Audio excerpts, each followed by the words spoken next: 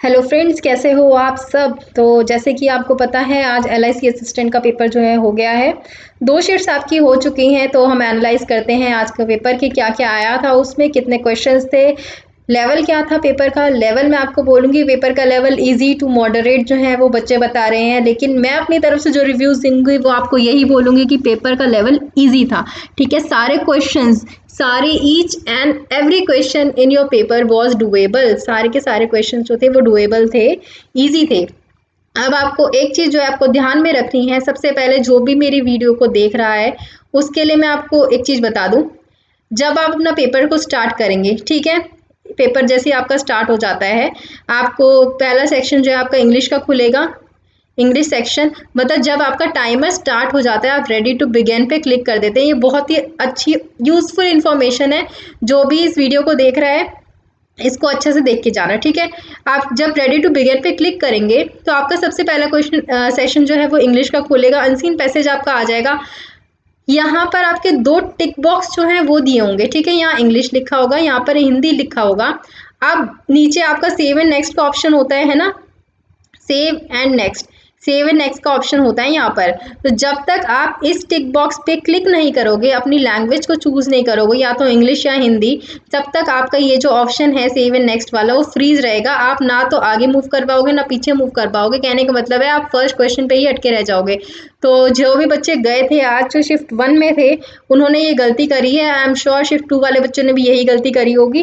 जो अपना language select नहीं करी तो उनके काफ़ी मिनट्स जो है वो वेस्ट हो गए थे। इन्विजिलेटर्स को भी समझ नहीं आ रहा था कि क्यों आगे नहीं बढ़ रहा है सेव एंड नेक्स्ट क्यों नहीं हो पा रहा। तो आपको क्या करना है, यहाँ टिक बॉक्स पे क्लिक कर देना है अपना, ठीक है? तो ये थी आपकी छोटी सी इन्फॉर्मेशन चलो आप स्टार्ट करते हैं पेपर के एनालिसिस एनालिसिस में क्या क्या आया हुआ था आपका।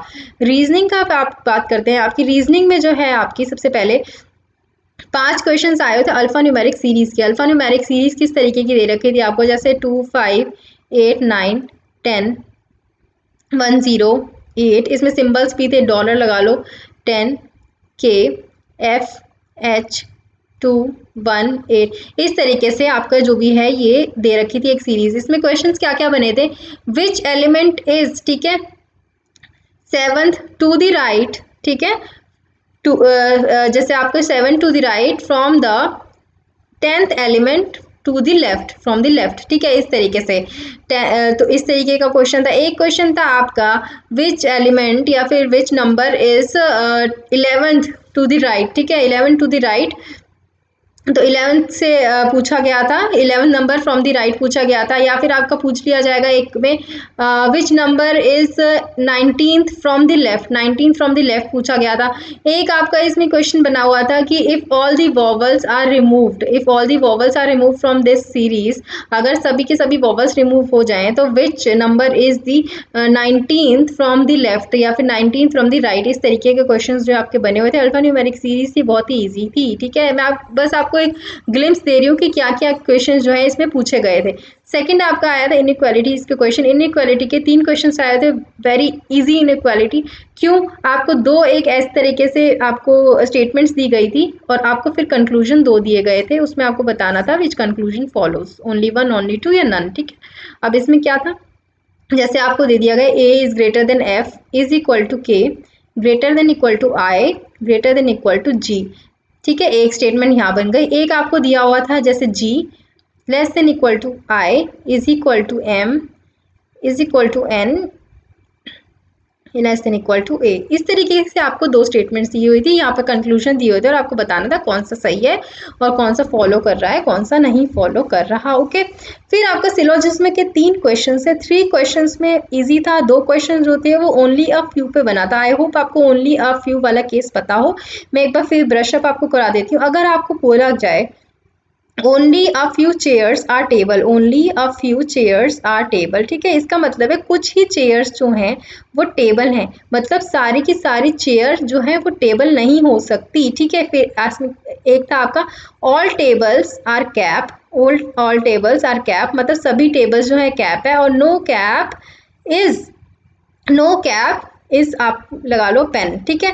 पेन का रिलेशन इस चेयर से पूछ लिया। पेन का रिलेशन इस टेबल से पूछ लिया कैप का रिलेशन चेयर से पूछ लिया? अब जब ये आपका केस बनता है only a few chairs are table मतलब कुछ ही चेयर जो है वो टेबल है। लेकिन जो सारी की सारी टेबल हैं, ये मैं आपको पॉसिबिलिटी बता रही हूँ, वो चेयर में आ सकती हैं, ठीक है?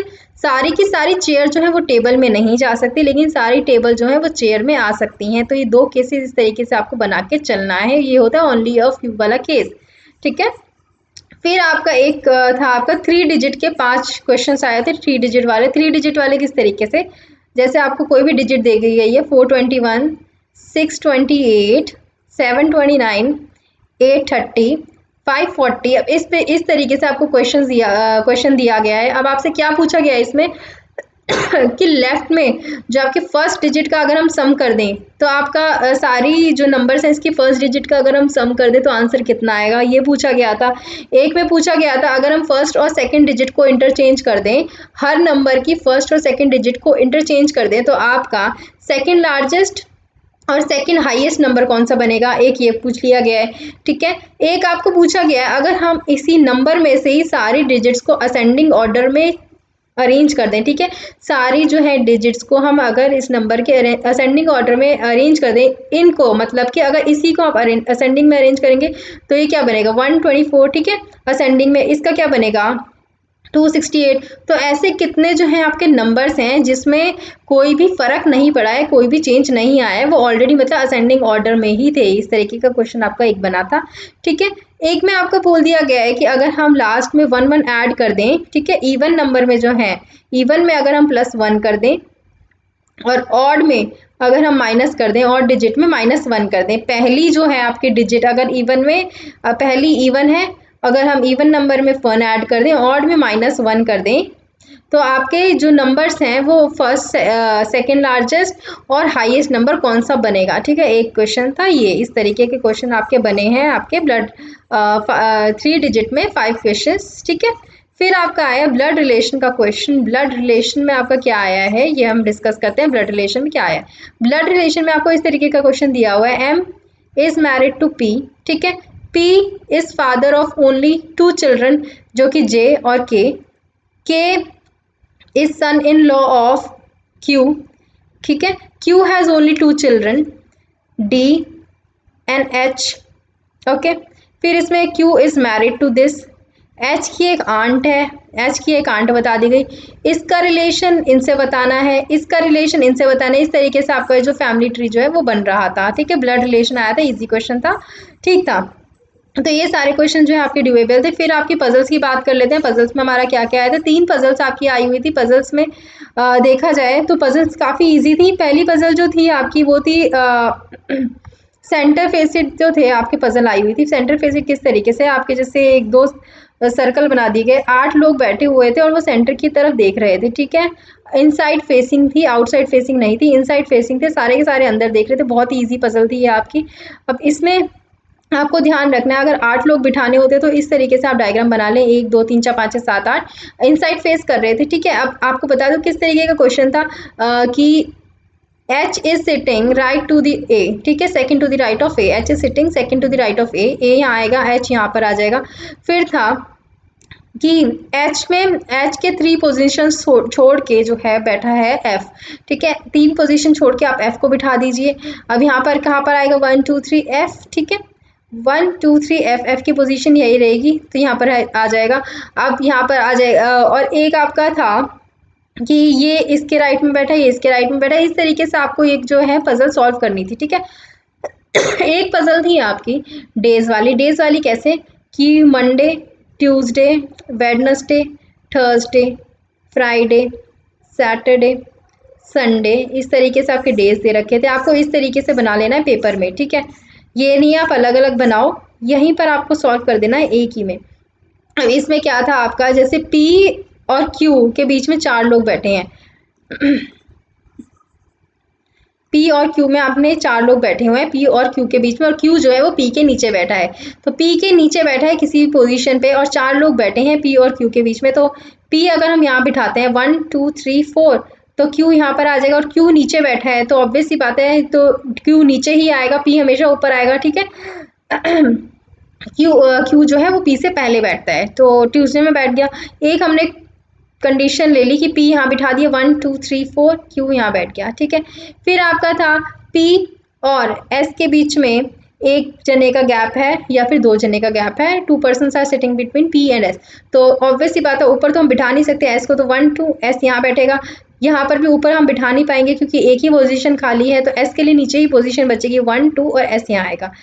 फिर आपका थर्ड कंडीशन जो दे रखी थी कि एस के ऊपर जितने लोग हैं, उतने ही लोग जी के नीचे हैं। एस के ऊपर जितने ही लोग हैं, उतने ही लोग जी के नीचे हैं। तो एस के ऊपर देख लीजिए कितने लोग हैं। वन टू थ्री थ्री तो जी के नीचे तीन आने चाहिए। तो अगर हम जी को यहाँ बिठाते हैं तो वन टू थ्री तो बिल्कुल यहाँ पर बैठ सकता है जी यहाँ जी बैठेगा। अब एस के ऊपर देख लीजिए कितने वन टू थ्री फोर तो जी के नीचे चार आने चाहिए तो जी यहाँ बैठेगा तो एक, दो, तीन, चार। आई एम सॉरी अगर जी के नीचे बैठेगा तो ये वाला कंडीशन नहीं बनेगी। क्योंकि एस के ऊपर चार है तो जी के नीचे भी चार आने चाहिए, ठीक है? तो ये तो इस तरीके से कोई, इस तरीके की कोई इक्वेशन दी हुई थी कि जितने लोग एस के ऊपर हैं, उतने ही लोग एस के नीचे हैं। या फिर एस का ये दे रखा होगा कि एस यहाँ पर बैठा था, तब जाके कंडीशन जो है सेटिस्फाई होगी। ठीक है? एस के ऊपर जितने हैं जी के नीचे उतने ही लोग हैं।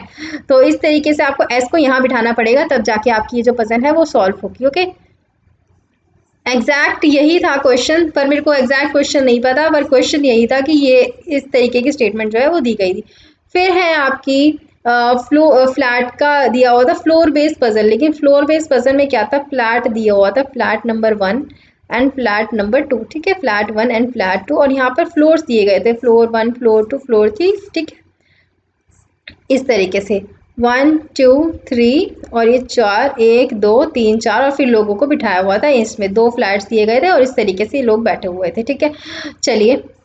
अब आपकी ये हो गई है आपकी रीजनिंग पूरी। पैंतीस क्वेश्चंस आपके रीजनिंग के हो गए हैं। अब चलते हैं मैथ्स के पार्ट पे। मैथ्स में आपका क्या क्या आया था देख लेते हैं। कुल मिला के रीजनिंग जो थी वो बहुत ही ईजी थी, ठीक है? और सारे के सारे क्वेश्चन जो थे रीजनिंग के वो डुएबल थे। मैथ्स में चलते हैं। अब मैथ्स में था आपका एक लाइन ग्राफ का क्वेश्चन लाइन ग्राफ का क्वेश्चन पाँच जो है, इसमें क्वेश्चन बने थे लाइन ग्राफ के। लाइन ग्राफ के किस तरीके से दे रखे थे? मान लो 2011 का आपको डाटा दिया हुआ था, ठीक है? A B C D E A B C D E 2011 का डाटा दिया हुआ था, यहाँ पर एक ग्राफ दिया हुआ था।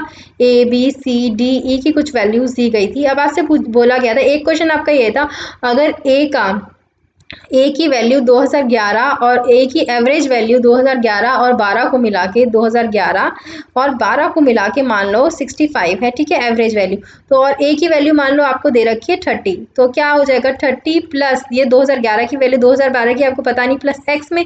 अपॉन में एवरेज निकालना है तो अपॉन में two is equal to sixty ठीक है? आप वैल्यू कैसे निकालोगे? अगर x की वैल्यू निकालनी है तो आपको कैसे निकालोगे? 60 इंटू टू माइनस में 30 तो ये आपकी निकल जाएगी x की वैल्यू ठीक है, एक क्वेश्चन आपका दिया हुआ था, मान लो सी की वैल्यू आपकी थर्टी निकली है और डी की वैल्यू आपकी फोर्टी थी यहाँ पर, ठीक है? एक क्वेश्चन था आपका कि C is how much percent less than D तो अगर सी की वैल्यू आपकी थर्टी है डी इज़ फोर्टी तो C is how much percent less than D तो सी डी से कितना कम है? सबसे पहले आप माइनस कर लीजिए टेन कितना कम है डी से? तो टेन कितना डी से कम है तो डी नीचे आएगा अपॉन फोर्टी इंटू हंड्रेड तो ये आ जाएगा सी ठीक है? अब आपको एक वैल्यू दी गई थी कि मान लो ए कितना परसेंट है ई e का? ए कितना परसेंटेज है ई e का? तो अगर आप आ, मैं इसी वैल्यू पे आपको करके बता देती हूँ अगर सी पूछा जाए कितना परसेंट है डी का ये नहीं पूछा कितना परसेंट कम है या कितना ज़्यादा है तो दैट मीन्स कि सी की वैल्यू आएगी आपकी। कितना परसेंट किसका है? डी का। तो डी नीचे आएगा इनटू में हंड्रेड हो जाएगा ठीक है? तो ये आपका इस तरीके से काटपीट के आंसर आ जाएगा। तो ये बहुत ही इजी क्वेश्चन थे मैं आपको बोलूँगी ये जो पाँच थे लाइन ग्राफ के क्वेश्चन तो इसमें से चार क्वेश्चंस इतने इजी थे कि आपको बहुत इजीली हो सकते हैं। एक क्वेश्चन में थोड़ी सी कैलकुलेशन जो है आपकी ज़्यादा लग रही थी अदरवाइज़ लाइन ग्राफ का क्वेश्चन बहुत ही ईजी था।